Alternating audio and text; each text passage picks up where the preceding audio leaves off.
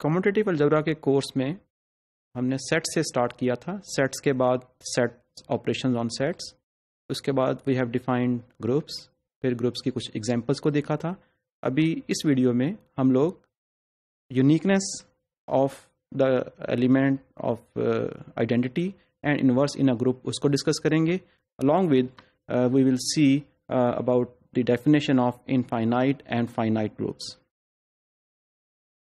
So the our first result is let G be a group then G has exactly one identity element and each element of G has exactly one inverse.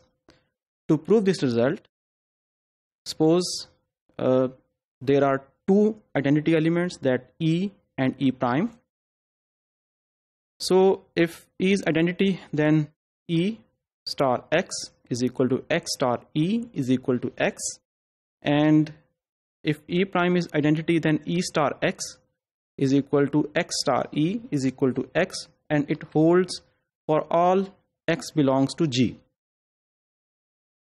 In particular, if we replace uh, x with e prime in the first equation and x with e in the second equation and then equate these two equations then we will have E is equal to E star E prime is equal to E prime. So both identities are same. For the second part of the proof, we suppose that x and x double prime are inverses of x. That is, there is an element x which has two different inverses which are x and x double prime. If x prime is the inverse, it means x star x is equal to x star x prime is equal to identity element. And on the other hand, if x double to prime is the identity element, then x double to x is equal to x star x double prime is equal to e.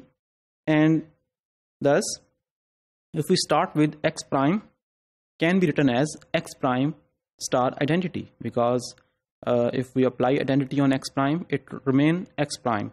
Then we replace this identity e with x star x double prime which is available from our supposition. Uh, then we use this uh, associative law. So we change the brackets. So x prime x star x double prime. Then this x star x is equal to identity again by our supposition then e star x double prime is equal to x double prime. So it means x prime is actually equal to x double prime. Uh, then we will see some notations uh, we usually call e to be the identity element of the group g. And instead of x prime or x double prime we usually write x minus 1 is the inverse of an element x from g then instead of G star is a group, we usually write G is a group under the operation star. And we often drop star in A star B and mostly write just A, B. Then our definition of finite and infinite groups, we say a group G under the operation star is a fine is a finite group if G its cardinality. Number of elements in that group is finite.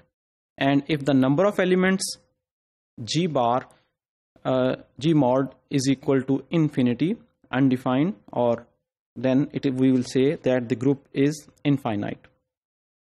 Then we have a couple of examples of the finite and infinite group. For example q under the operation addition is a infinite group and complex numbers under the uh, minus 0 under the operation multiplication is a is again an infinite group. On the other hand if we say uh, the group of 1 minus 1 iota minus iota under the operation multiplication which we have already seen that this is a group and this group is a finite group